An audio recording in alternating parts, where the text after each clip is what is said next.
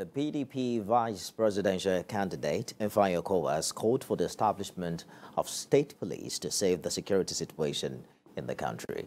The vice presidential candidate who spoke at an event in Abuja to commemorate the International Youth Day challenged Nigerian youths to shun ethnicity and vote for leaders who can tackle the current security situation in the country. Helen Osamide Akins reports. Nigeria is in the throes of a serious insecurity problem which has stretched on for too long. It has gotten so bad that Nigeria was rated the third worst insecure country in the world in 2020 by Global Terrorism Index, behind Afghanistan and Iraq. This rating raised grave concern among security experts and the government. But the PDP vice presidential candidate believes that to tackle the root cause of insecurity in the country, state police must be established.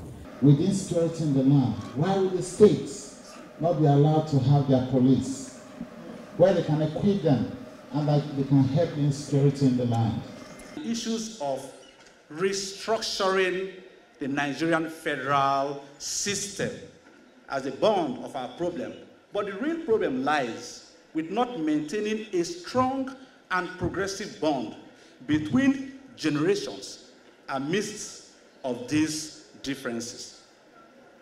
The theme for this year's celebration of the International Youth Day, Intergenerational Solidarity, creating a world for all ages, highlights ageism and how it affects the society.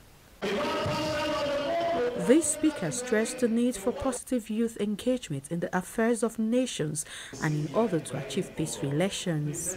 Youth are the bedrock of any nation, and it has, it has been rightly described before now. The youth are not only the future of our society, but future leaders, but leaders of today.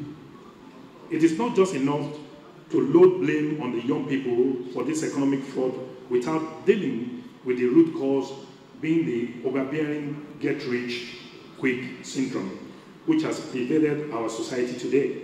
The event drew dignitaries both in politics and other aspects of life.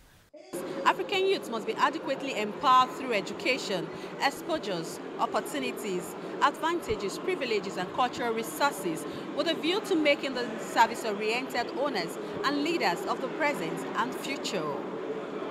Helen Osamede Kings, TVC News, Abuja.